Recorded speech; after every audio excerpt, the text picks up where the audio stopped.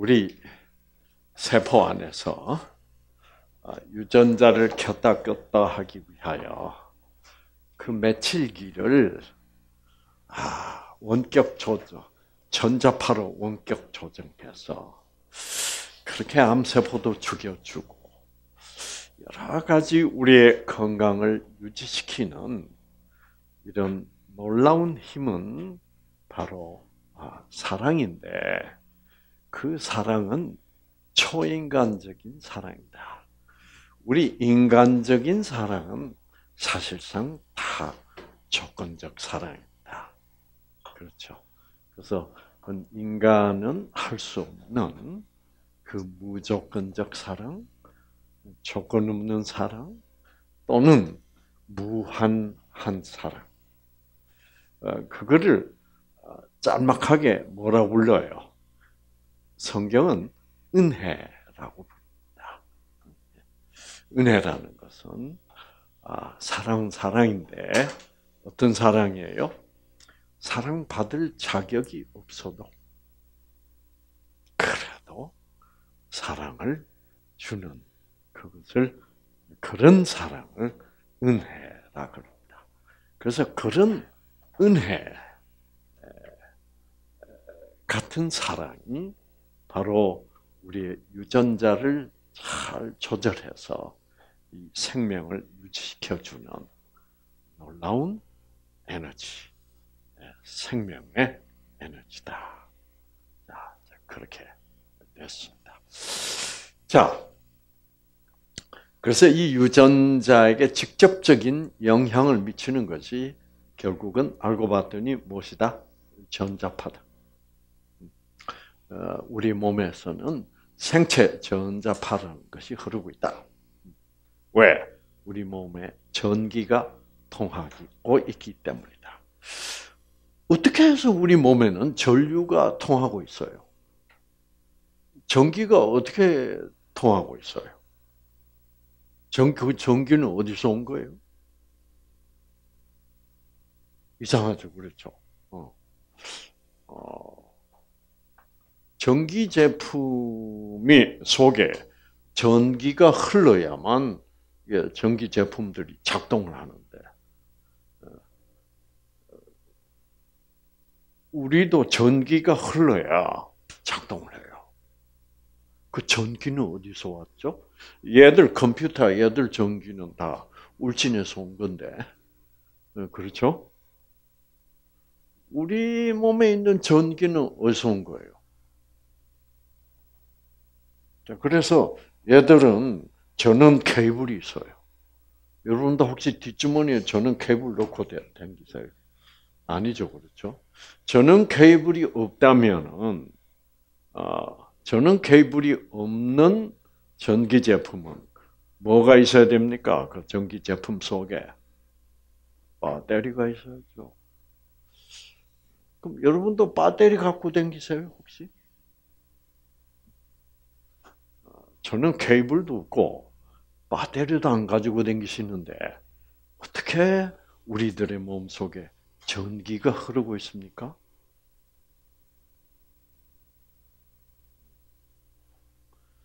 여러분이 하루에 세, 세 번씩 전기를 잡수시기 때문에 그렇습니다.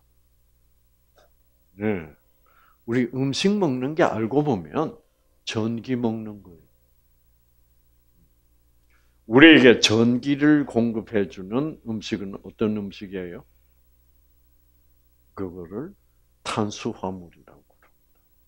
네. 탄수화물이란 말은 무슨 말이에요? 탄, 탄은 뭐예요? 탄소라는 말입니다. 아, 탄소. 자, 탄은 탄소. 탄소는 카본, 영어로 그래서 C죠.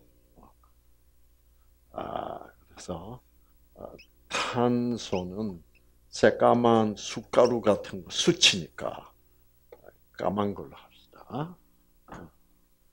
어, 탄, 그다음에 수는 뭐예요? 수 물입니다. 물. 그러니까 탄소하고 탄소 C하고 물은 뭐예요? H2O가 합해진 것을 탄, 수, 화, 화합이 됐다 이 말이야.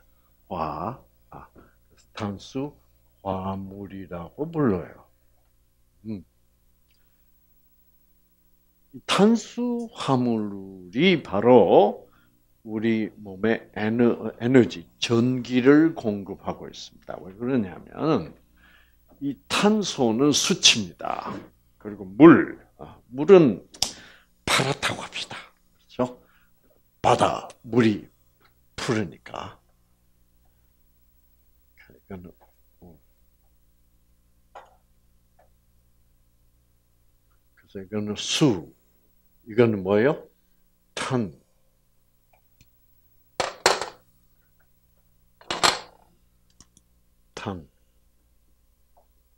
탄수, 화. 화물이다.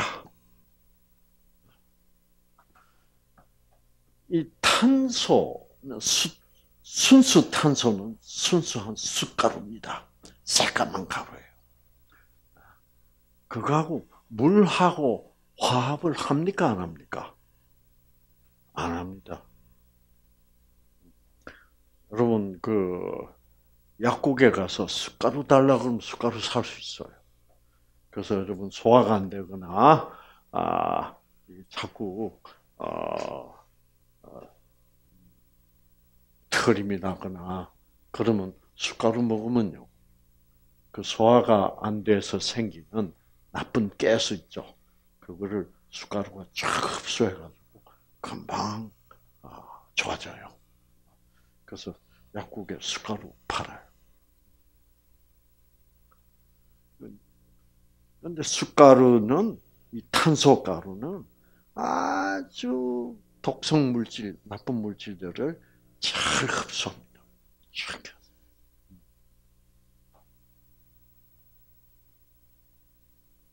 우리도 사무실에 숟가루 있어요. 숟가루는 뭐 아무런 부작용도 없고 깨끗하게. 예. 저도 옛날에 소화 안될때 숟가루 많이 사용했는데 요즘은 뭐 없어서 못 먹어가지고 소화 안 되는 법이 전혀 없어요. 그래서 숟가루를 안 먹어본 지 벌써 한 20년이 지난 것 같은데. 자, 그러면 그 숟가루가 순수 탄소예요. 자, 여러분 물병에 숟가루를 넣어가지고 아무리 끓이고 아무리 흔들고 해도 절대로 숟가루와 물은 화합하지 않습니다. 조금만 놔두면 어떻게 해요? 숟가루 쫙 갈아놓고 물하고 딱 분리돼 버려. 그것을 화합시키는데 그 화합되지 않는 아, 탄소와 물을 화합시키는데 전기 에너지가 필요해요. 그래서 탄수화물은 이 탄소하고 물하고 합하는데 뭐가 필요해요? 네, 전기 에너지가 필요. 그래서 탄수화물이라는 것은 전기 에너지 어디로부터 온 전기 에너지? 태양으로부터 온 전기 에너지예요. 햇빛이 뭐라 그랬습니까? 전기 에너지입니다. 전자파라고 그랬잖아요. 그렇죠? 아, 그 전기 에너지를 탄하고 그 다음에 물이 합해 합하는데 에너지로서 작용합니다. 아, 그래서 우리가 이 탄수화물 먹으면 아, 자 오늘 저녁에 여러분 모밀국수와 옥수수를 먹. 모밀국수 맛있죠? 예. 자, 그러면 다 탄수화물. 그러면 여러분이 이제 그 탄수화물을 드셨다. 그렇게 되면 어떻게 되는 거예요?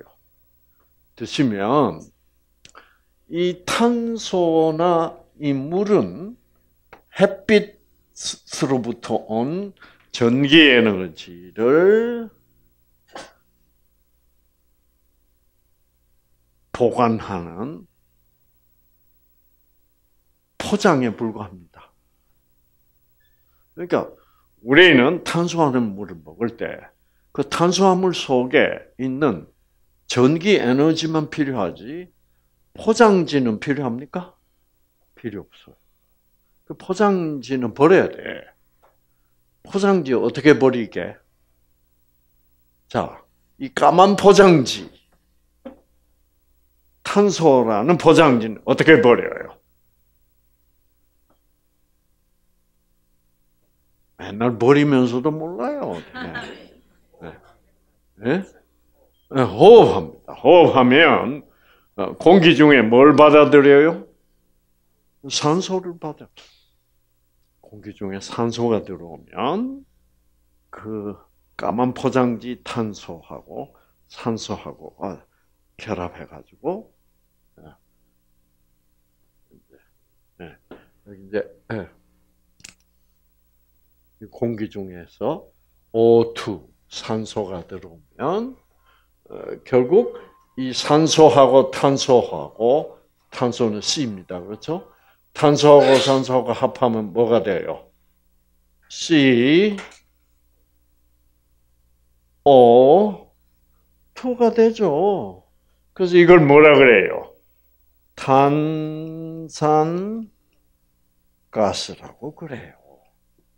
그래서 탄산가스가 호흡하면 그래서 산소를 들이쉬면서 안에서 탄산가스를 만들어 가지고 하고 내쉬면 포장지가 버려지죠. 어.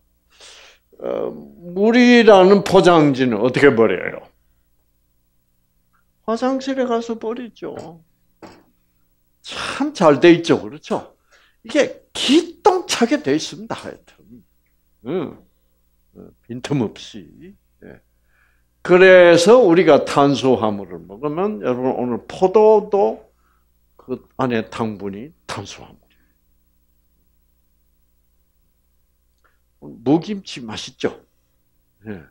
자, 그래서 그래서 탄수화물을 먹고 우리는 포장지를 탄산가스로 버리고 소변으로 버리고 그러면 우리 몸 안에 남는 건 뭐만 남아요? 전기만 남죠. 그다 그려줬는데도 아, 참. 네, 전기만. 그래서 우리 몸 안에 전기가 있는 거예요. 그러니까 여러분이 잡수신 국수, 아, 그 다음에 옥수수, 포도, 이런 것들이 다 알고 보면 뭐예요, 그게? 배터리라고. 배터리. 아시겠죠? 네. 그저 포도라는 포장 속에 들어있는 전기를 먹은 거예요. 네. 희한하죠, 그렇죠? 네. 아, 그래서 이 그러면 아, 이 자, 모밀, 옥수수, 포도는 다 어디서 오는 거예요? 식물이야. 그래서 식물은 뭐 공장이에요? 탄수화물 공장이야.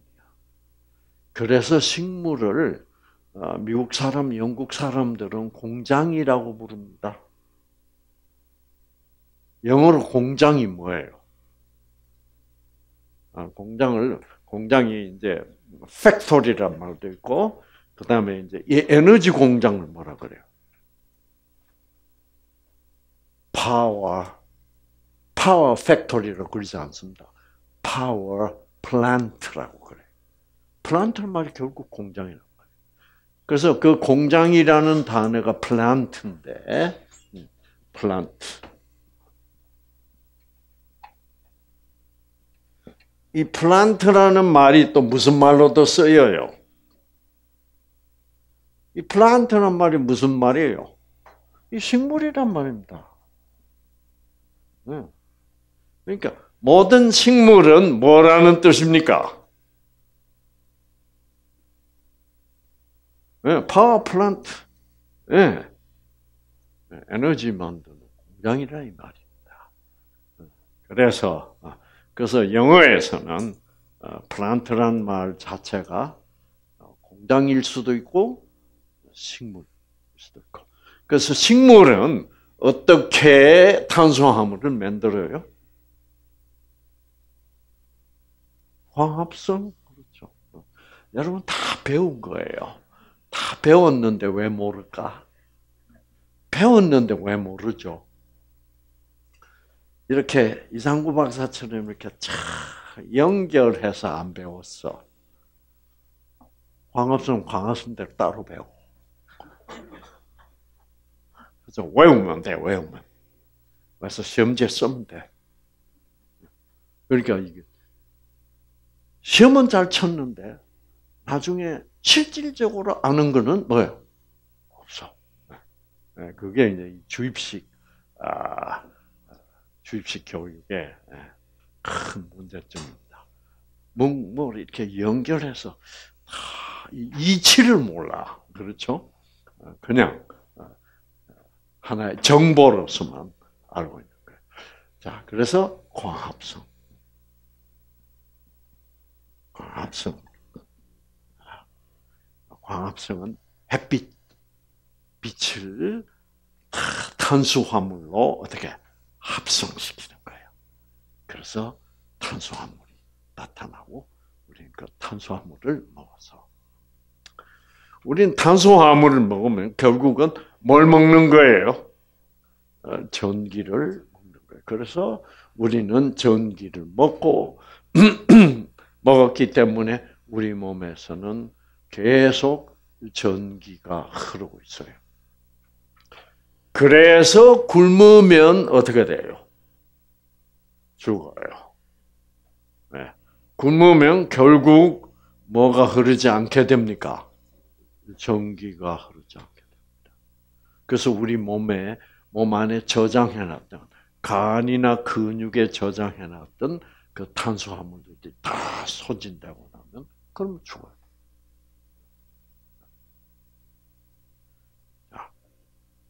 참 희한하게 됐죠. 그렇죠? 음. 근데 태양은 전기를 어떻게 생산해낸다고 그랬습니까? 네? 핵, 네? 핵 뭐예요? 네, 핵 융합.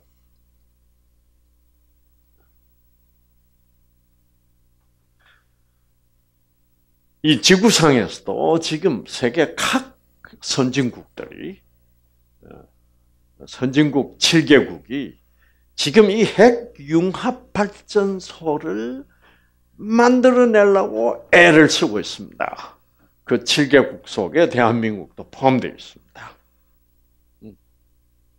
그러나 아직도 이 지구상에 핵융합 발전소는 없습니다. 네. 이 기술이 안 돼.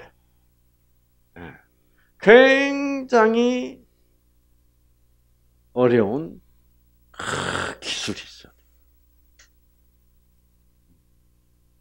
근데 태양에서는 어떻게 핵융합이 일어날까? 그 그렇게 기술이 필요한데.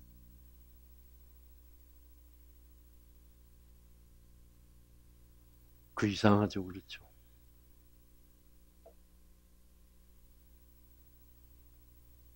그거는 그것도 바로 초자연적인 전지전능한 그 기술로습니다. 그래서 아, 그래서 발전이 되면 그 전기 에너지가 지구 쪽으로 쫙 비춰지면 아, 지구상에서는 탄수화물 공장이 다 기다리고 있는 거예요. 그래서 잎사귀로 그 햇빛을 받아서 탄수화물에 딱 저장을 하는 거예요. 그 희한하죠. 근데 여러분 그 태양에서 핵융합 그 고도의 기술을 요구하는 핵융합을 일으킬 수 있는 그 능력이 전지전능한 초인간적인 초자연적인 능력이에요. 아시겠죠? 그 능력은 본질이 뭐라 그랬습니까? 아, 사랑이라고 그랬죠. 아시겠죠? 그것은 인간의 사랑이 아닌 뭐예요? 네, 그 초인간적인 아, 무조건적인 사랑이야. 아시겠죠? 그 사랑이 태양에서 핵융합을 일으켰어. 사랑이 하는 일은 뭐를 일으키는 재주가 있어요? 사랑. 융합을 일으킵니다. 그래서 사랑이 절대로 융합될 수 없는 남녀를 어떻게 해? 융합시켜서 결혼을 시켜요, 세상. 네. 그러면 뭐가 또 튀어나와? 아기가 또 튀어나와. 이런 이것은 우리 힘으로 되는 건 뭐예요? 아니고 이거는 초자연적인 음, 그 사랑, 생명 에너지로서 일어나는 현상입니다. 네. 자, 그래서 없던 인간이 또 생겨나. 그게 융합의 신비로움입니다. 그래서 사랑은 융합시키고 그 다음에 또 뭐 해요? 새로운 개체를 탄생시키. 참 이게 사랑이야. 아시겠죠? 응. 음, 놀랍죠. 그러면 음, 그러면 아, 결국은 그 놀라운 초인간적인 초자연적인 전지전능한 사랑이라는 에너지가 핵융합을 일으켜서 전기를 아, 발생시켜서 우리 지구로 보낸다. 그러면 그 전기 에너지는 결국 뭐가 누가 만들어 놓은 에너지요? 사랑이 만들어내 놓은 에너지야. 그렇죠? 그래서 그 증거가 있나요? 그래서 사랑이 만들어 놓은 배터리가 바로 뭐라고요? 탄수화물이란 말이에요. 그러면 탄수화물, 탄수 그 탄수화물이 그 탄소화물을 사랑이 만들어내었다는 증거가 있냐 이 말이야.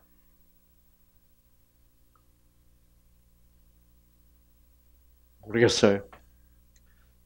증거가 있습니다, 여러분. 자, 그 사랑이 사과도 만들어냅니다. 그렇죠? 복숭아도 만들어 망고도 만들어내고. 네. 그런데 그 탄수화물도 복숭아, 사과, 망고, 감, 어, 각종 모양으로 만들었는데 그 모양이 주로 무슨 모양입니까?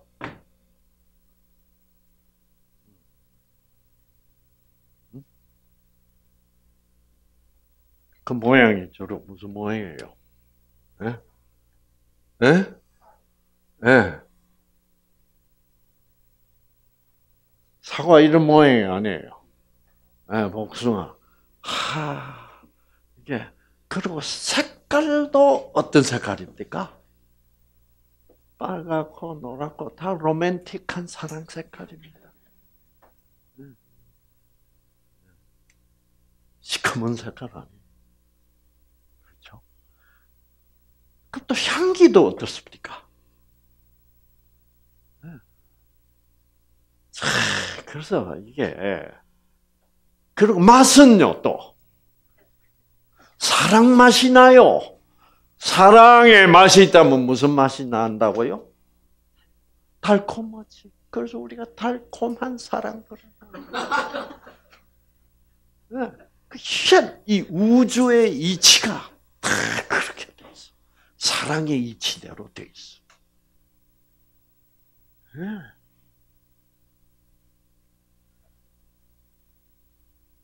자, 여러분 놀랍잖아요. 그러니까 결국은 우리는 아, 탄수화물을 먹고 전기를 먹고 있다고 말하지만 사실은 뭘 먹고 있어요? 사랑을 먹고 있는 그래서 사랑을 먹은 사람들은 사랑을 먹은 사람들은 어떻게 살아야 되게 돼 있어? 사랑하고 사람 살게 돼 있어. 어. 그래서 우리는 사랑이라는 좁은 문으로 들어가야 됩니다. 아까 우리 용교 PD가 좁은 문 얘기 네, 아주 아주 좋은 말씀해 주셨어요. 사랑이라는 그 문 말고 다른 문 들어가면 어떻게 돼? 유전자 다 꺼진다니까. 그 사랑이라는 문만으로 들어가는 길. 그래서 좁은 사랑이라는 문을 들어가서 사랑이라는 뭐예요? 길을 따라가면 그런 걸 뭐라 그래요? 만사 형통 치유가 일어날 수 있다 이 말이에요. 네. 네. 네. 사실 그래요. 이 생명, 이 생명체가 살아가는 어, 가는 길은 좁은 길이고 좁은 문으로 들어가야 돼요. 어. 그래서 여러분 보세요. 우리 사람이 살 수 있는 체온이 있습니다. 몇 도에서 몇 도 사이에만 우리가 건강을 유지할 수 있게 36도에서 37도, 그 1도 상관입니다. 그거 벗어나면 어떻게 돼요? 건강이 유지되지 않습니다. 37도 이상이면 벌써 컨디션 나빠. 열이 있네. 30도 이하로 떨어지면 어떻게 돼요? 저체온죠. 컨디션 안 그래서 그래서 우리가 옷을 입고 우리 체온을 어떻게 해요? 36도에서 37도 사이에 그, 그 좁은 음, 뭐 아, 0도에서 뭐 1000도까지 있을지라도 그 좁은 그, 그 길을 우리가 선택해야 된다. 그래서 그, 그 좁은 문. 아, 참 참 좋은 이렇게 되겠다. 그래서 여러분 new start라는 게 뭐예요? 알고 보니까 바로 그 무슨 문? 좁은 문으로 인도해서 여러분이 이 길을 드디어 이 좁은 문, 음, 음식, 밥은 현미밥, 네. 이런 어, 다 해서 길로 가면 모든 것은 회복되게 되어 뭐예요? 있다는 겁니다. 그것이 바로 아, 아, 창조주의 섭리로 정해놓은 우리 인간이 본래부터 가야 될 길이야. 그렇죠. 본래부터 우리가 들어가야 될 문. 그래서 아, 참 이렇게 멋있게 되어 있습니다, 여러분. 그래서 new start라는 것은 아, 여러분 그래서 new start를 한다면서 딱딱하게 하시면 안 돼요. new start는 어떻게 해야 돼요? 로맨틱하게 해야 돼요. 현미밥은 먹으라고 이게 뉴스타트 아니야. 네. 현미밥 꼭 씹어 먹으면 아주 고소하다. 뭐 정말 그러네. 이런 이런 그 정말 그 사랑다운 그런 게 그래서 어, 귤을 하나 까먹어도 어, 어떻게 까먹어야 돼요? 벌써 귤 모양부터 보고 아, 참 이쁘게 생겼다. 탐스럽다. 이게 다 우리가 그 귤, 그 사과 한 개의 아름다움을 보고 벌써 볼 때부터 뭐가 켜지라는 얘기예요. 유전자가 켜지라. 어, 그냥 뭐, 뭐 옥수수 여기 탄수화물 많이 들었잖아. 그러지, 말아야 그러지 말고 옥수수 뭐요? 아이고 색깔도 이쁘다. 음 향기도 뭐요? 좋다. 음, 음 쫄깃쫄깃하고 음 그 은근한 강원도 찰옥수수 이거를 의미하면서 기뻐하면서 즐기면서 먹는 게 그게 뉴스타트다 이 말이에요. 아시겠죠?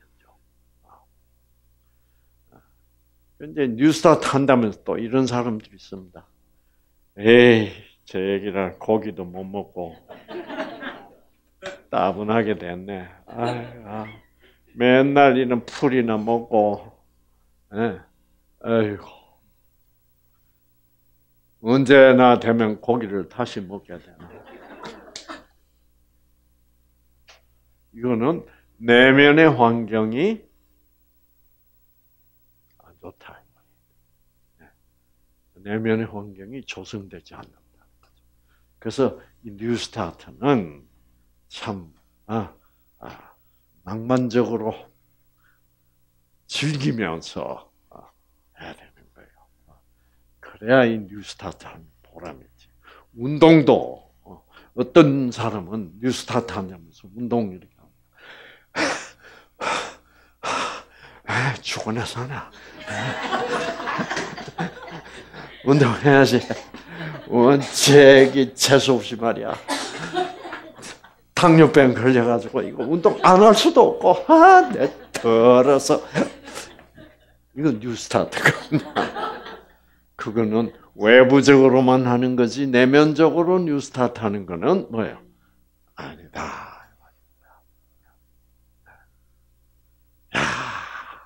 운동하는 것이 이렇게 참 뭐예요? 아, 시원하고 맑은 공기를 숨쉬고 야 자연의 아름다움을 아 만끽하면서 물소리도 듣고 아 심호흡을 하면서 아 속이 다 후련하다. 정말 즐겁다. 이게 이제 진짜 뉴스다. 아닙니까? 그래서 여러분.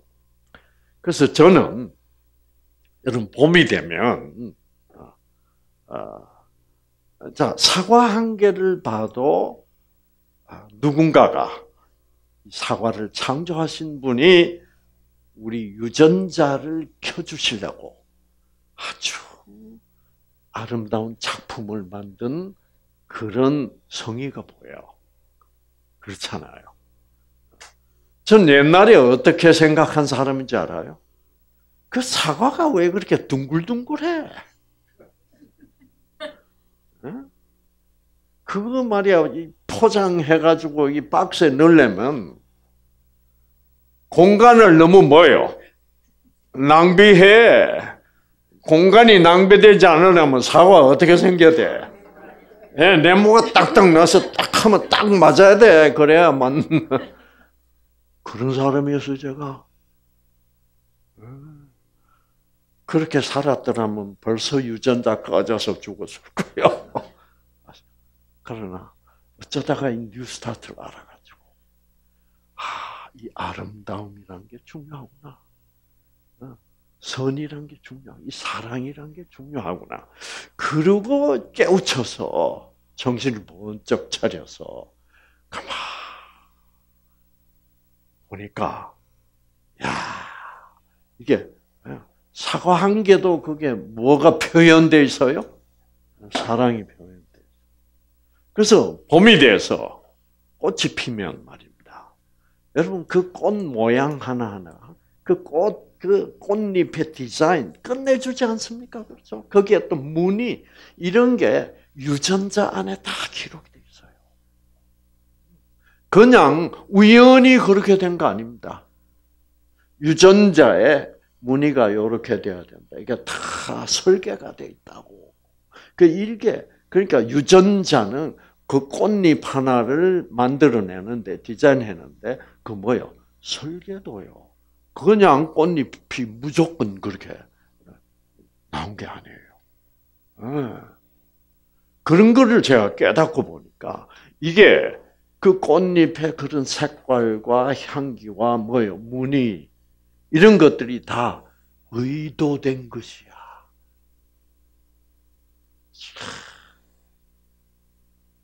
그러니 누군지 굉장히 예술성이 있어 그렇죠. 어. 그래서 그 아름다움을 나타내 가지고 그 예술성을 발휘하는 그 이유가 뭐예요? 다 여러분들의 유전자를 뭐예요? 켜주겠어. 그래서 요즘은요, 봄이 돼서 꽃이 피면 저는 뭘 느끼냐 하면 그 우리의 유전자를 켜주기 위한 우리를 향한 사랑을 가지신 그 생명을 주시고 생명의 에너지를 주시고 싶어 하는 그 창조주가 상구 보고 뭐라고요? 상구야, 나 좀 봐. 까꿍. 예, 엄마가 아기 키울 때 어떻게 해요? 예, 웃겨주려고. 어. 그렇죠?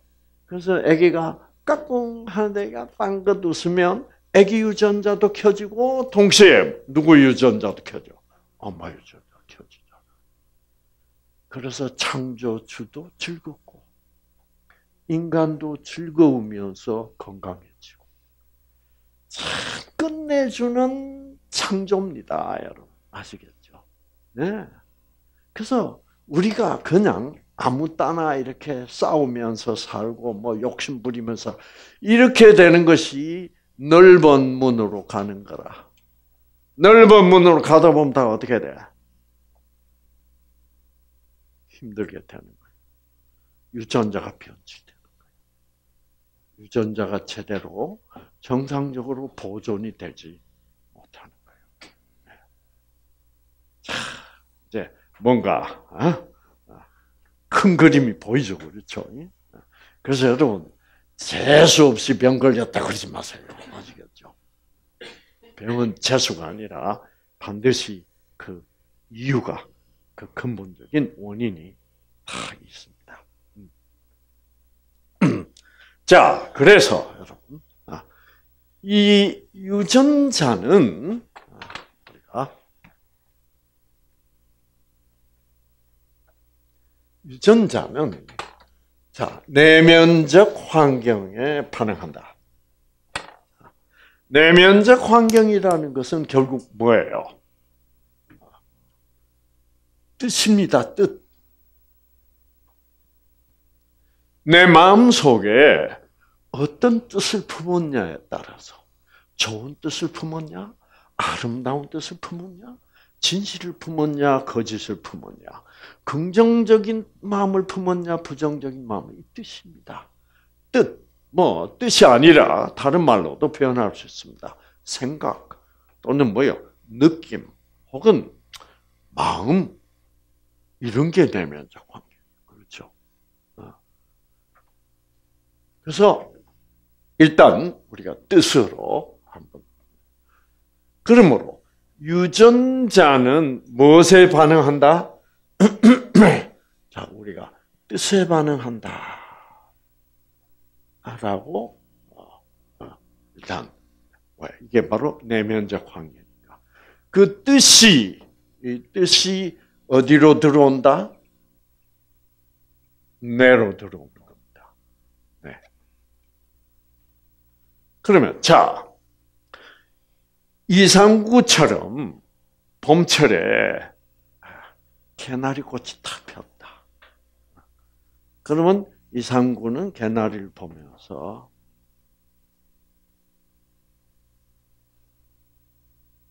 그 개나리를 보면서 나를 사랑하는 전지전능하신 분이 나보고 뭐예요? 깍공한다라는 뜻을 부여하는 것. 옛날엔 제가 개나리 꽃을 어떻게 본지, 본지 아십니까?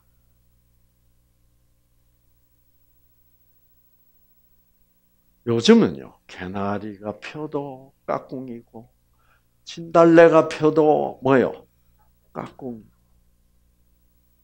여기 우리 너럭바위 가는 거기 보면 철쭉이 그냥 쫙 펴요, 봄에. 이 철쭉꽃이 그 연분홍. 네. 진달래는 좀 촌티가 나긴 나요. 그렇죠? 하는데, 이 철쭉들은요, 고상틱해. 그래서 다 보면 진달래는 까꿍 하고 어, 철쭉은 뭐라 그래요? 까꿍. 다 맛이 달라. 같은 까꿍이라도 또 분위기가 달라요. 자, 그런 꽃을 까꿍으로 보는 까꿍이라는 뜻으로 받아들이는 사람의 유전자와 에이 꽃이란 게 말이야. 개나리 뭐 진달리밖에 없잖아. 뭐 촌티 나는 꽃. 이러면 내 유전자가 아무런 유익을 얻을 수가 없는 거야 내가 무슨 뜻으로 보느냐 어떤 뜻으로 받아들이냐 아, 이 뜻이 예, 우리 유전자의 상태를 결정하는 거예요. 자, 그래서 뇌로 들어오면 뭐가 바뀌어요? 뇌파가 바뀝니다. 네, 뇌파가 변해. 뇌파가 변화하면 뭐가 변화해요? 생체 전자파가 바뀌어요. 결국 생체 전자파가 궁극적으로 유전자에 영향을 미친다 이 말이에요. 그러므로 이 뜻이라는 것이 뭐를 변화시켜요? 뇌파를 변화시켜. 자, 뇌파는 무슨 에너지입니까? 전기 에너지예요. 전기. 그러면 어떤 뜻이 뇌파를 변화시킨다면 뇌파라는 것은 그 분명히 전기 에너지인데 전기 에너지의 흐름을 뜻이 변화시킬 수 있다면 지배할 수 있다면 뜻도 뭐가 있는 것이며 분명해요. 뜻이 에너지가 있는 거죠. 에너지가 있어야 전기 에너지를 변화시키지. 그렇죠? 어. 뜻에, 뜻 속에 에너지가 없다면 뜻은 뜻이고, 뇌파는 뇌파고, 그래서 변할 리가 없죠. 그래서 우리가 어떤 아름다운 진선미의 뜻을 받아들인다거나 또는 나쁜 뜻을 받아들이면 그 뜻, 뜻 에너지가 어떤 에너지냐에 좋은 뜻이냐 나쁜 뜻이냐에 따라서 우리의 뇌파가 나쁜 베타파로 변할 수도 있고 또는 가마파로도 변할 수 있고 또는 뭐예요? 좋은 알파파로 변할 수 있습니다. 네. 아시겠죠? 그래서 이, 이 네팔을 공부를 해보면, 여러분이 정신을 바짝 차려야 되겠다 하는 생각을 하실 수 있습니다. 다시 네팔로 돌아가서 보세요.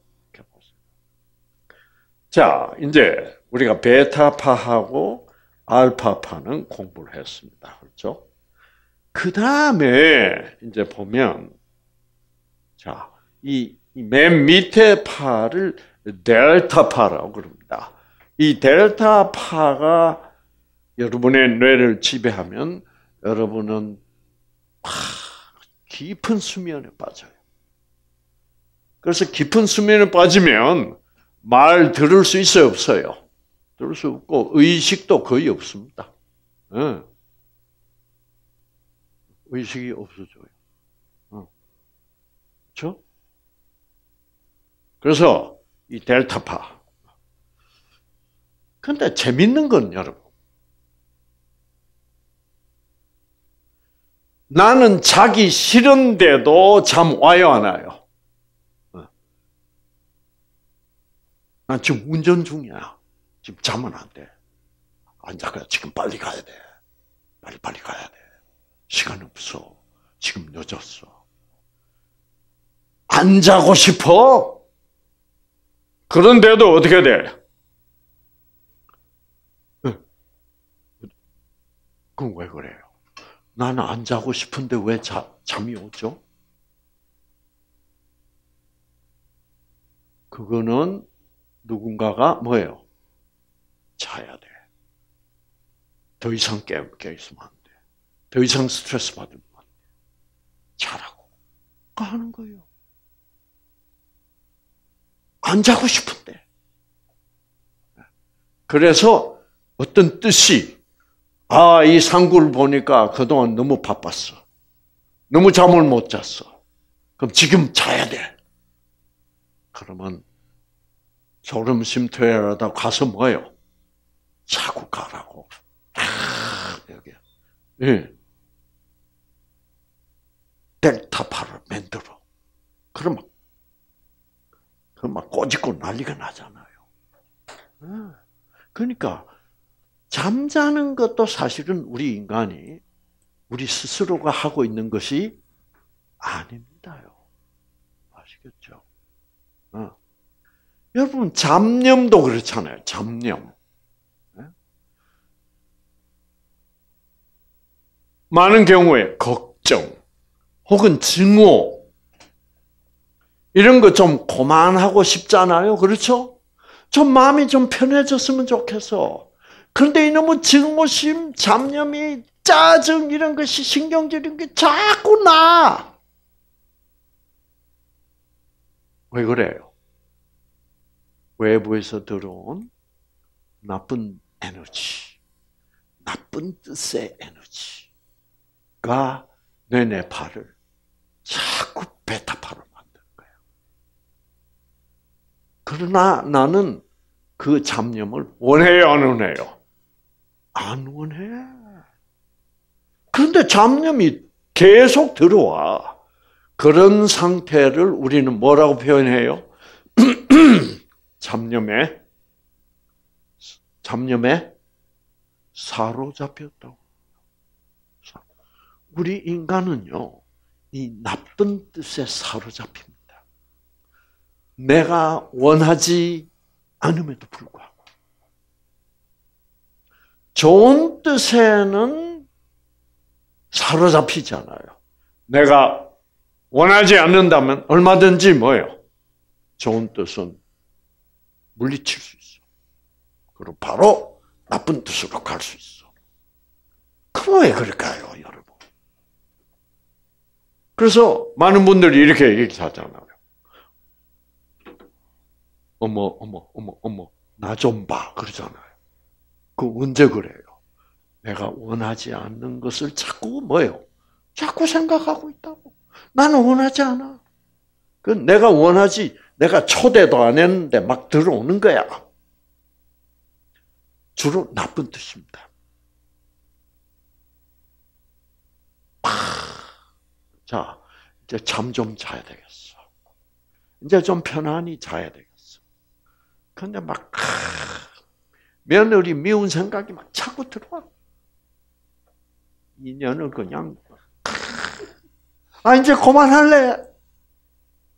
그 그만하려고 아무리 애를 써도 안 되면 어떻게 해요? 신경 안정제를 먹어가지고 마비를 시켜야 돼. 그왜 그럴까요? 그 나쁜 뜻은 왜 그렇게 강제적으로 내가 원하지 않는데도 막 쳐들어올까요?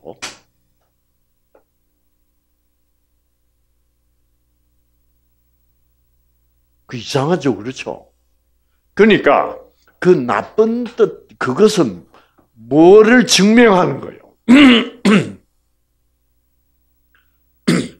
나쁜 뜻들은 그게 내가 원해서 하는 거, 그리고 내가 원해서 내가 지어내서 사실은 하는 게 뭐예요?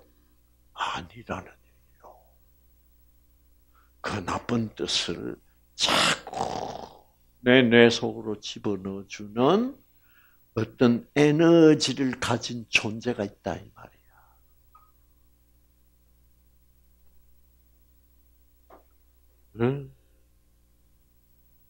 그래서 우리는 그 에너지에 사로 뭐예요? 잡힐 수 있는 거예요. 어. 사로 잡힐 수.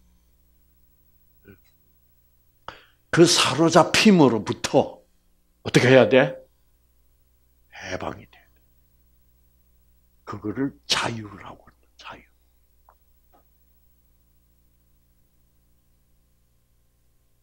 우리 이 아가씨는 지금 무슨 얘기 하는지 다 경험해 봤어요.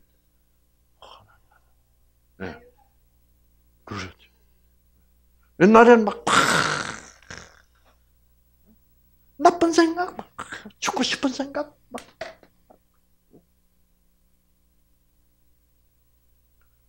그게 이제는 안 들어와. 더 이상. 들어오면 어떻게 내어 쫓을 수 있는지 알아야지. 그걸 배워야 돼. 아시겠죠? 네. 여러분이 암에 걸려 있으면 나쁜 생각이 무슨 생각이요? 다른 사람은 다 나을 수 있을 것 같은데 이번 210기 뉴스타트 동기생 중에 나만은 안날것 같아. 그것은 희한한 거예요. 그건 뭐 때문에 그런지 알아요? 그러한 나쁜 생각을 넣어주는 좋은 생각은 누구로부터 와? 사랑으로부터 와. 나쁜 생각은 뭐예요? 그 무슨 사랑으로부터 와? 무조건적 사랑으로부터. 나쁜 생각은 뭐, 누구로부터 오게? 조건적 사랑으로부터. 내가 그렇게 부탁을 해도 안 들어주고 말이야. 두고 보자 말이야. 이게 다 조건적 아니에요. 무조건적이면 뭐예요? 내가 부탁해도 안 들어줘도 뭐 그럴 사정이 있었겠지. 이해하지 뭐. 네, 그런 것은 내가 노력을 해야 돼. 그래서 좋은 생각은 내가 뭘 해야 돼? 추구하고 그 다음에 그 좋은 생각이 들어오도록 내 마음의 문을 열고 뭐 해야 돼? 초청해야 됩니다. 근데 나쁜 생각들은 초청이고 뭐 없어 막 쳐들어와. 그 나가라 그래도 나가 안 나가? 안 나가. 이 두 에너지, 좋은 뜻과 나쁜 뜻, 조건적 사랑과 무슨 사랑? 무조건적 사랑의 투쟁이 여기서 벌어지고 있는 거예요. 여기서, 어, 어. 여기서 이제 여러분이 내면의 환경을 변화시키기 위하여 이 투쟁에서 승리하는 법을 배우셔야 된다 말이에요. 이런 투쟁을 이 뜻의 투쟁, 투쟁, 좋은 뜻과 나쁜 뜻, 즉 무조건적 사랑의 뜻과 조건적 사랑의 뜻의 투쟁을 무슨 투쟁이라 부르게? 그거를 뜻의 투쟁 혹은 영적 투쟁이라고 부른다. 아, 그래서 무조건적 사랑을 선, 조건적 사랑을 뭐예요? 아, 그래서 선악의 투쟁, 선악 간의 영적 투쟁 속에서 우리 인생들은 살아가고 있다 이 말이에요. 아시겠죠? 네. 맞죠, 그렇죠? 그래서 자, 이 뜻. 그래서 이쪽에서 오는 무조건적 사랑의 뜻. 무조건적 사랑. 사랑의 뜻과 이쪽에서 오는 뭐예요? 조건적 사랑의 뜻이 여기서 우리의 뇌에서 투쟁. 그래서 우리는 이 두 다른 뜻, 이건 좋은 뜻과 이건 나쁜 뜻 중에 우리는 항상 뭐를 하는 입장에 서 있는 거예요? 선택. 그래서 적극적으로 무조건적 사랑 쪽으로 선택하셔서 여러분 승리하시기를 바랍니다. 아시겠죠? 네. 그래서 이 무조건적 사랑 쪽으로 선택하면 여러분의 뇌파는 자연히 뭐예요? 알파파가 돼요. 그 무조건적 사랑이야말로 정말 진실한 것이고 그것이야말로 선하고 그것이야말로 뭐예요? 아름다운 것이기 때문에 그쪽을 선택하면 나의 뇌파도 베타파에서 알파파로 변하면서 생체 전자파도 알파파로 변하면서 나의 변질됐던 유전자도 다시 정상으로 회복돼서 치유가 일어난다. 그러니까 선택의 투쟁이야. 무엇과 무엇 사이에서 선과 악, 조건적 사랑과 조건적 사랑 사이에서의 투쟁. 자, 이게 이제 예? 그래서 이렇게 되면 여러분이 이제 딱 정리가 되는 겁니다. 그런데 여기 이제 우리가 델타파를 방금 공부를 했는데 그래서 하나님이 여러분이 너무 잠이 부족하다, 너무 과로했다. 그러면 이때쯤은 뭐예요? 반드시 자야 된다 할 때는 하나님이 재우려고 애를 씁니다. 아시겠죠? 그러죠. 자야 되는 거. 자, 그 다음에 이 델타 파도 아닌 또는 뭐요? 알파 파도 아닌 이상한 파가 존재해요. 이상한 파가 존재. 이 파를 시타파라고 부릅니다. 시타파. 네, 주파수는 아주 낮아요. 네, 아주 낮아요. 자, 이 시타파는 무슨 파냐 하면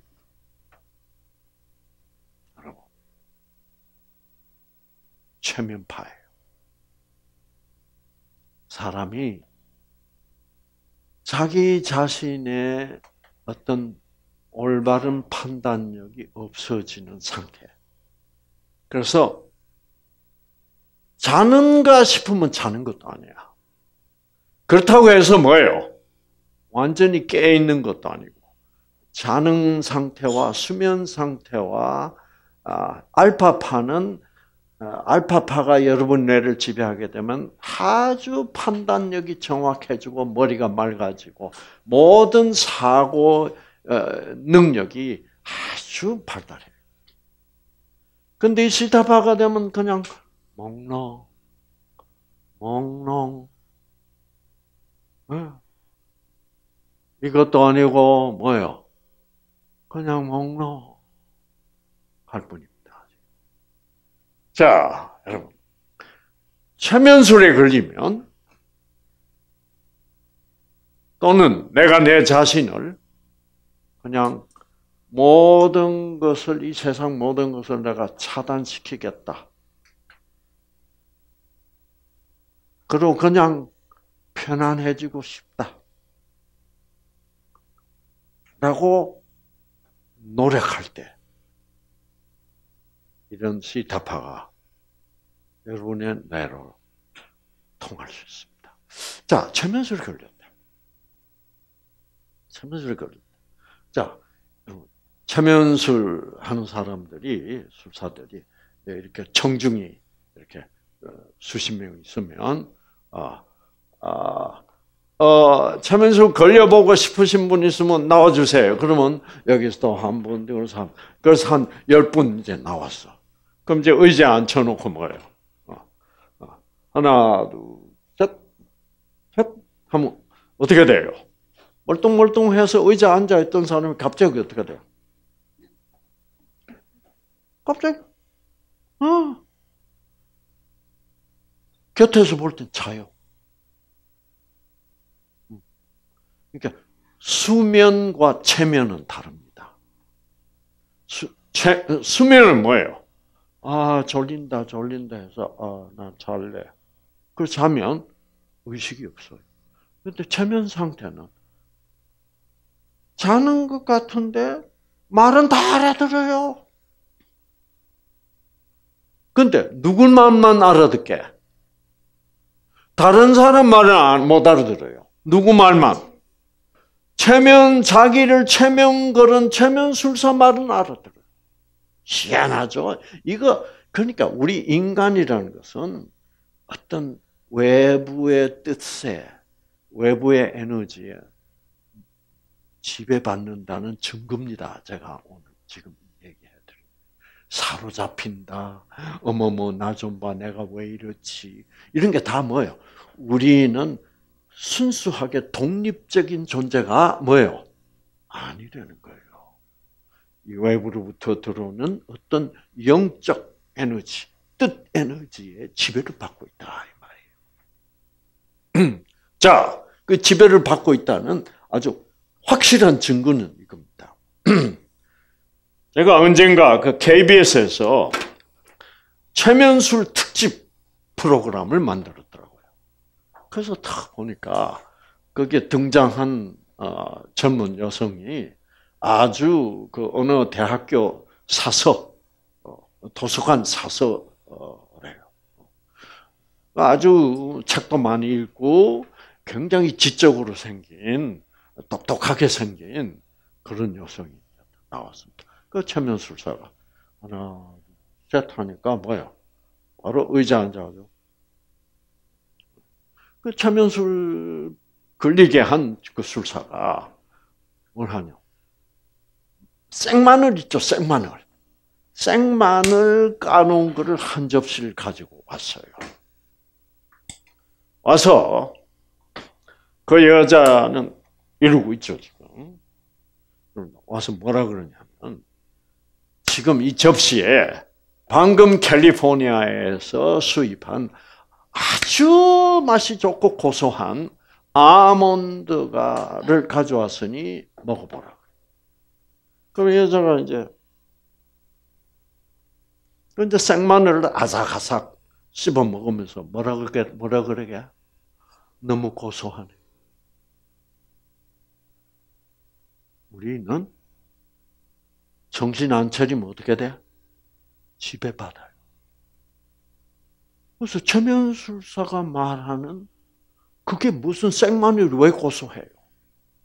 그러나 내가 느끼는 맛은 느낄 수 없고 누가 말하는 대로 느껴요? 나를 최면을 건 사람의 말, 말대로 느껴. 예. 그러니까 제가 이런 말을 여러분께 해드린 이유는 여러분은 여러분 스스로 무엇을 이기려고 하시지를 뭐요? 말하는 거예요.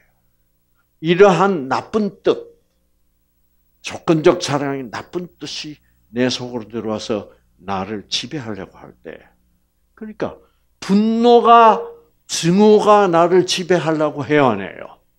어, 그래서 내가 그래서 그것에 오랫동안 지배당하다 보면 무슨 증에 걸려? 불면증, 결국 우울증에 걸려요. 아, 유전자 다 꺼져버린다고. 그러니까 누가 미운 사람이 있을지라도 그 사람을 어떻게 해야 된다고요? 조건적으로 하면 미워해야지. 왜 미운 짓을 했으니까. 어. 그러나 무조건적인 사랑 차원에서 생각하면 어떻게 이해하고 뭐예요? 용서하고 살아야지.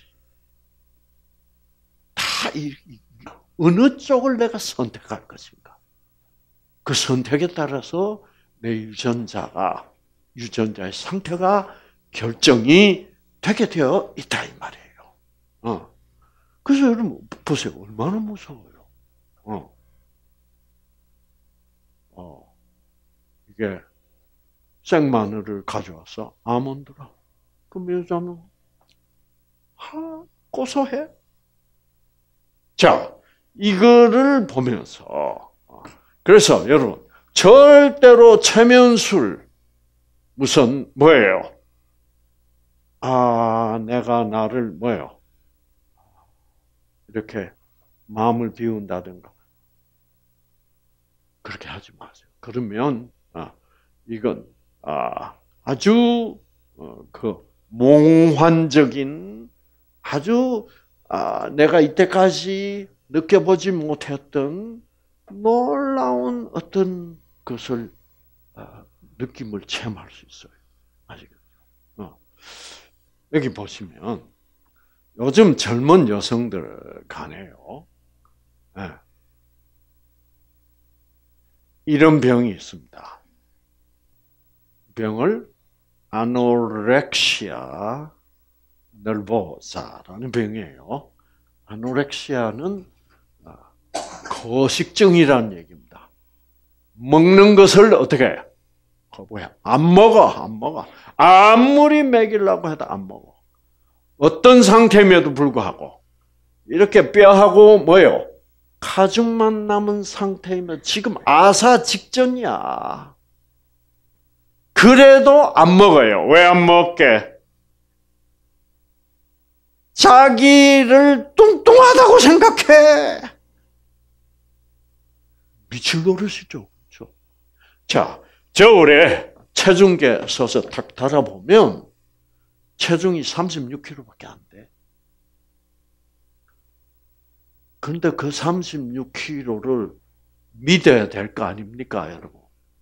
체중계에서 36kg인데 그게 맞잖아요. 그런데 이런 환자들은 어떻게 생각하게? 체중계가 고장났다고 생각한다고. 그럼 고장났으니 그럼 다른 체중계, 고장 안 난 체중계를 가져 다시 재보자. 또 36kg 나오죠. 그럼 그것도 고장이래. 이런 걸 뭐라 그래요? 못 말려요, 여러분.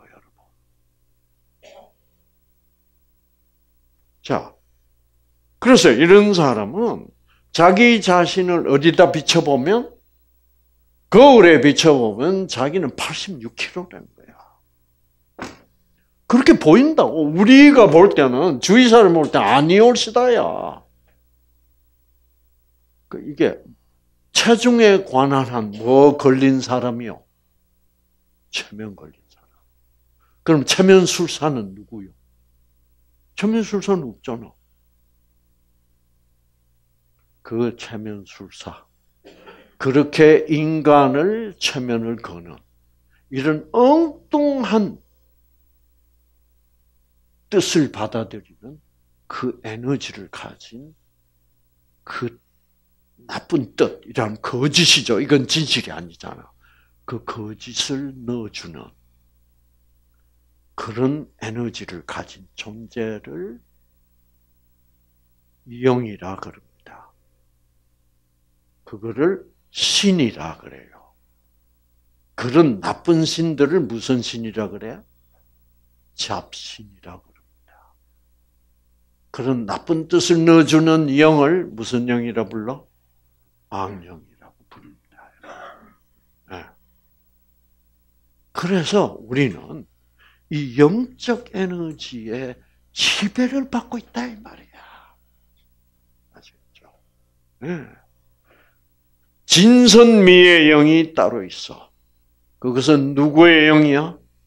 그것은 바로 진선미의 영. 그것이 우리에게 생기를, 생명 에너지를 주는. 그것은 악령이 아닌 무슨 영? 악령의 반대가 무슨 영이에요?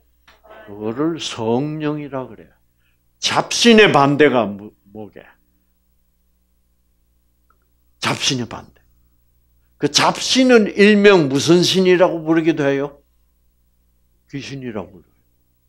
그래서 정신병에 화끈하게 정신병에 든 사람을 뭐 들었다 그래요?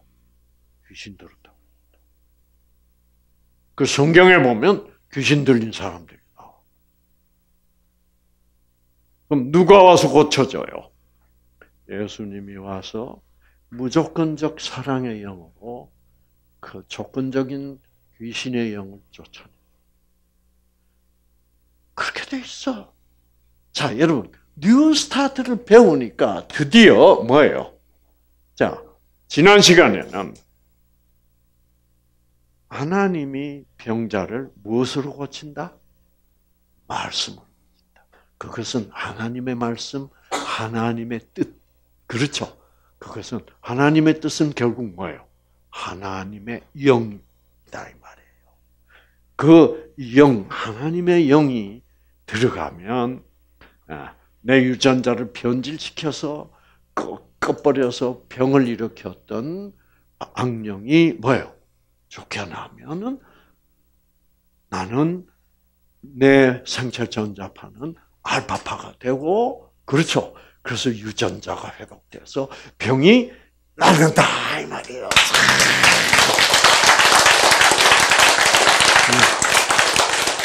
그래서 우리들은 그럼 보세요.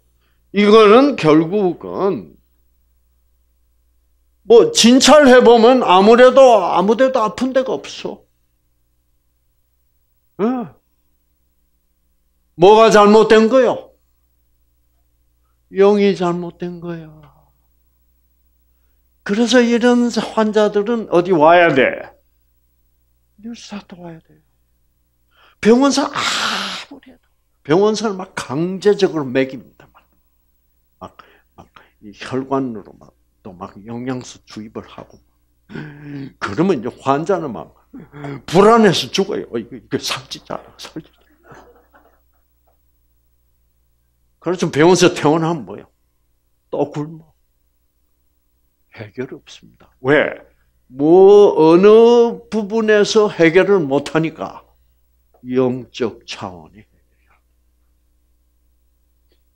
여러분 얼마 전에 여기에 11살짜리 이런 애가 왔어요. 병원에서 아무래도 그래서 엄마가 데려왔어. 세상에 11살짜리 가 고식증이야. 그만큼 대한민국의 어린 아이들이 무엇에 빠져 있다는 거요? 외모, 지상주의. 아, 슬픈 일입니다. 그러니까 날씬하다, 보기 좋다, 뭐 S 라인이 어떻고 이러다가 사람 잡는 거예요. 그것이 너무 너무 중요하면 안 먹어. 살찌면 안 되니까. 살찔까봐 두려워. 그 두려움은 누가 주는 거예요? 그게 악령이 주는 거예요. 그러다가 보면 이렇게 돼버려. 그래서 이 11살짜리가요, 엄마하고 와가지고, 이 설명을 쫙 듣더니, 고개를 끄덕끄덕. 자기가 무엇과 싸워야 될 것을 뭐요? 알았어. 이것이 성령, 진리의 영이 아니고, 무슨 영이란 거 알았어요? 악령이란 거. 그러면 어떻게 해야 돼? 기도해야 돼. 그렇죠? 여러분, 내가 완전히 났어요. 그래서 어머니가 좋아가지고, 예, 예. 참, 참 기뻐요, 그런 거. 그러니까, 영어로부터 자유, 해방. 그래야만 나의 내면의 환경에 변화가 온다 이 말이에요. 예. 그래서 여러분이 이런 강의를 들으면 아 그렇구나. 그러면 내가 지금부터라도 적극적으로 무슨 영을 선택해야 돼요? 아, 성령을 선택. 그래서 잡신 귀신의 반대신은 무슨 신이게? 성신이라고도 부릅니다. 그런데 성신보다 어, 더 우리가 아, 아, 흔하게 쓰는 신이 있어요. 그게 무슨 신이게? 그거를 정신이라 그래요. 정신. 여러분, 정신. 그래서 오늘 저녁에 정신 공부만 조금 하고 끝나죠. 정신입니다. 그래서 우리 정신 우리는 옛날부터 정신이라면 아, 그 정신은 무엇이라고 생각하고 있었습니까? 옛날에 정신이라 그러면 그게 의식이라고 생각하고 있었어요. 그래서 의식 없이 기절해서 쓰러지면 그 사람이 뭐 없다 그래요? 아, 정신 없다 그래요. 어. 정신이 의식입니까? 네? 안 그렇죠, 그렇죠. 의식 아니잖아요. 왜? 의식이 있어도 정신 없는 놈 있어 없어요. 네, 기절하지도 않았어. 멀쩡하게 왔다 갔다 하고 잘 뭐 살아. 그런데 그런 의식이 있고 왔다 갔다 하죠 살아도 어 우리는 어떤 사람을 보고 뭐라 그래요? 저 녀석 정신 나간 놈. 그 정신 나간 놈이란 말은 무슨 무슨 뜻입니까? 잡신에 사로잡혀서 산다는 거예요. 즉 다른 말로 하면 저놈의 마음 속에는 올바른 뭐요? 뜻이 없다. 마음 속에 있는 뜻이 전부 뭐요? 거짓이다. 형식적이다. 그럼 정신 정신 그래서 이 정신이라는 단어는 굉장히 놀라운 단어입니다. 아, 저는 이 정신이라는 단어가 우리말에 있다는 자체가 너무너무 좋아요. 아, 그래서 정신을 공부를 합니다. 정신. 아, 써놓고 보니까 정신은 어떤 뭐예요? 신이야, 그렇죠? 신. 그냥 의식이라는 단어가 아니에요. 신이야. 신. 정신이란 어떤 신인가? 정한 신이라는 뜻입니다. 그렇죠? 정한. 그러면 이, 이 정자를 한번 알아봐야 돼. 그렇죠? 정자를 알아보니까, 아, 이 정자가 아주 좋은 정자요. 응? 정하다. 말은 정성을 들인 정성스러운 정자야. 정성. 참 좋은 글자 아닙니까? 누가 나한테 뭐요? 정성을 들이면 그 참 좋아요, 안 좋아요? 자, 정성을 들여서 그 다음에 뭐예요? 거칠지 않다. 까칠한 게 없다 이 말이야. 까칠한 게 없고 매우 뭐예요? 곱다는 말은 이 부드럽다는 말입니다. 그 고운 밀가루 그러잖아요. 그거는 아주 부드러운 거예요. 신은 신인데 정성스러운 신이고 어, 부드럽고 고운 그런 신이다. 그리고 또 무슨 뜻이 있다? 깨끗하다. 정결하다. 아, 정성스럽다. 그 다음에 뛰어나다, 우수하다, 가장 좋다, 훌륭하다, 총명하다. 이 좋은 거는 다 가지고 있는 글자야, 이 정자. 여러분, 군대에서 제일 훈련 잘 되고 제일 잘하는 어, 부대를 뭐라 불러요? 정예 부대라고 그 정자요. 뛰어난 가장 깨끗한 가장 부드럽고 가장 정성스러운 그런 신이란 거야.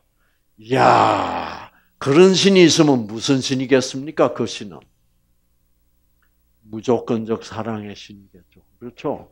조건적 사랑의 신은 까칠합니다. 너 내 말 잘 들었나 안 했나 조사를 좀 해봐야 되겠다. 조사해보고 뭐요? 말 잘 들었으면 상 줄 거고 안 들었으면 뭐요? 어, 혼내줄 거다. 그래서 여러분 신이라는 단어는 뭐 무슨 단어예요?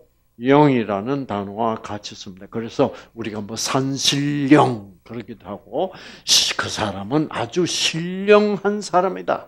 즉 하나님 같은 사람이다 이 말이에요. 음. 자, 그래서 정신은 영인데 무슨 영이야? 아, 거룩한 성령이야. 이 성령이 바로 생기, 생명, 에너지를 주는 사랑의 영이다. 그 다음에 정신의 반대는 뭐라고? 귀신 또는 잡신이다. 그래서 여러분 무속인들이 다루는 신은 다 뭐예요? 잡신들입니다. 그래서 이 잡신은 바로 성령의 반대 악령입니다.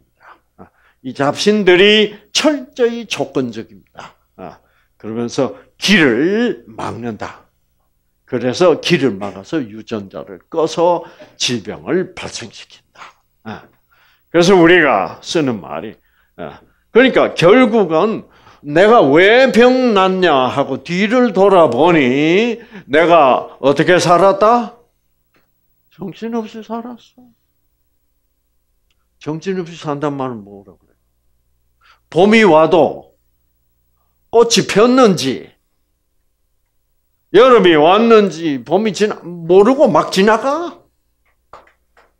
그럼 여기 이제 내일 모레 되면 어떤 그 어, 분이 오실 텐데 그분이 그문 어, 어, 네? 문금순 씨 말고 문 회장 있잖아. 문영수, 문영수 네, 오실 텐데 네, 위암 말기 해가지고 3개월 선고받은 사람. 이 사람이 3개월 선고를 받고 받았는데 너무 정신없이 살았던 거야. 어. 그래서 이제 3개월 선고를 받고 자기 아파트에서 창밖으로 내다보니까 벚꽃이 쫙펴 있는 거야. 보니까 이제 너무너무 아름다운 거야. 그래서 이 사람이 눈물을 흘리면서 기도를 한 거야. 하나님, 내가 너무 돈 버는데 막 정신이 없었어. 어떤 선생님은 교장 선생님 되려고 정신이 없었더라. 요새 교장 선생님 되려면 뭐 공부를 많이 해야 되는 모양이에요. 뭐 그, 그 이래저래 정신이 없이 살다 보니 벚꽃이 폈는지 졌는지도 몰라. 그래서 이 문 회장이라는 분이 아, 하나님 진짜 3개월 있으면 죽는데 하나님 저거 벚꽃 내년 봄에 한 번만 더 보고 죽게 해주십시오. 그렇게 간절히 기도해. 이렇게 아름다운 걸 모르고 이렇게 정신없이 살았다니.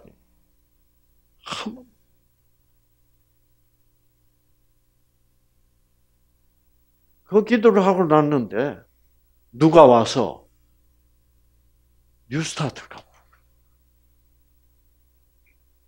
그래서 뉴스타트 와서 다 들어보니 야, 살 길이 있어. 그렇죠?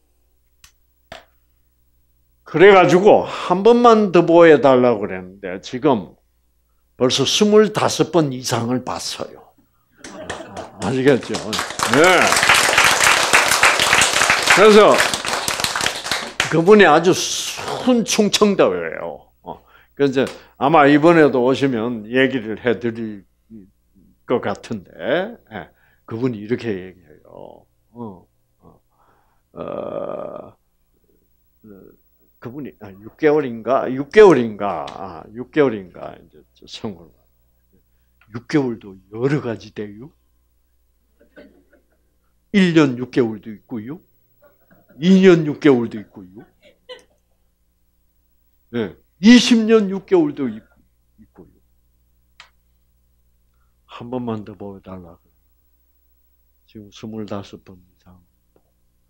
완전히 건강. 얼마나 건강. 여러분들도 어, 정말 25번 아니라 30번도 더 보시는 아, 정말 정, 어, 그래서 가만히 있어요. 네. 그래서 이제 고만 이제부터는 뭐 차려야 돼? 정신 차려야 돼. 정신 차린다는 것은 진선미를 추구하면서 그거를 느끼고 감사하면서 산다는 얘기예요. 그리고 긍정적으로 산다는 얘기. 그리고 용서하면서 산다는 얘기. 네. 무조건적 사랑을 받아들이고 산다는 그게 정신 차림. 그게 바로 하나님을 무조건적 사랑의 하나님을 받아들이고 산다는 뜻이죠. 그렇죠. 네. 네. 자, 그래서 정신없이 살고 있다. 정신을 놓았다. 정신이 들었다. 정신이 뭐요? 나갔다. 네. 정확한 말이에요. 정신님, 그래서 저는 이거를 깨닫고 앞으로는 어, 정, 그냥 정신이라고 부르지 않기로 했어요. 어, 앞으로는 정신 그럴 때 저는 정신님으로 부를 거예요. 그 잡신은 뭐라고 불러? 잡신놈들이라고. 그래서 이 정신이 나갈 수도 있고, 어, 정신을 빼앗길 수도 있습니다. 아, 그 착한 신랑이 말이에요. 어? 그 가정적이고 마누라밖에 모르던 착한 신랑이 그냥 꽃뱀을 만나가지고 어, 정신이 뭐요? 뺏겨가지고 월급도 가다 가다 바치고 그 정신 빼앗긴. 그러니까 우리 말이 그 굉장히 정확하게 묘사하고 있습니다. 영어나 다른 말은 이런 말이 없어요. 정신. 아이. 그래서 정신을 빼앗아 간다. 정신을 차렸다. 정신을 못 차리겠다. 정신을 뺀다. 정신이 어지럽다. 정신이 삐뚤어진 녀석도 있어. 어. 올바른 정신, 정신을 놓아버린다. 에이, 뭐, 정신 놓아버려. 에이, 뭐, 아무렇게나 살지. 정신줄을 놓아버린 정신줄을 꼭 붙잡아, 꼭 붙잡아, 끝까지 포기하지 마. 네. 정신이 흔들린다. 정신없이 산다. 아, 그래서 자, 우리의 식생활 습관도 정신없이 먹는 사람이 있어. 정신없이 먹는 사람은 아, 뭐 들렸다 그래요? 걸신 들었다. 네. 경상도서는 걸신을 희깔 귀신이라 그래.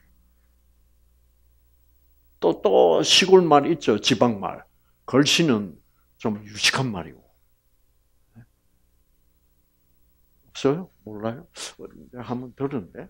그러니까 이 걸신 들리면, 그러니까 여러분이 건강식을 해도 정신 차리고 건강식. 정신 차린 건 어떻게 해요? 첫째, 과식하지 않는다. 여러분이 잡수시다 보면, 아, 분명히 누군가가 여러분에게 조용 한 음성으로 얘기합니다. 됐다, 이제 그만 먹지. 그래요, 안 그래요? 그게 다 정신님이 여러분께 하신 말씀입니다. 수저를 놔. 그럼 많은 사람들이 어떻게 해요? 아이, 시끄러. 자, 그러면서 정신없이 정신없이 먹는다라고도 말할 수 있지만 좀 더 확실하게 표현하면 정신없이 먹는다가 아니고 뭐라 그래야 돼? 처먹는다 그래요. 정신없이 처먹을 때는 잘 씹, 씹어요, 안 씹어요? 안 씹어. 네. 그럼 막 과식도 막 금방 해버리고. 그래서 참 뉴스타트라는 거는 정신님과 함께 하는 겁니다. 아시겠죠? 그래서 여러분 그래서 옛날 우리 조상님들은 이렇게 얘기했습니다. 호랑이에게 물려가도 뭐만 차리면 된다. 크, 정신. 이게 얼마나 정확한 말이에요. 여러분의 여러분을 물고 가는 지금 호랑이는 무슨 호랑이에요? 암호랑이야. 이 암호랑이에 물려도 뭐만 차리면 돼요? 그 정신 차리게 하는 게 바로 뭐요? new start다 이 말이에요. 아시겠죠? 음, 음. 그래서 암이라는 호랑이에게 물려가도 new start로 정신만 차리면 살 수 있다라는 결론이 나옵니다. 그래서 여러분 정말 이게 new start란 건 제가 의사로서 참 행복한 일이다. 그렇죠? 정말 행복한. 이거는 틀림없이 여러분에게 도움이 되는 거야. 그렇죠? 네.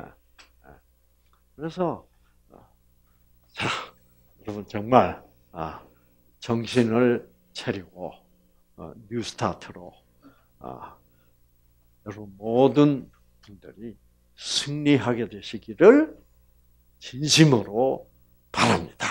아시겠죠?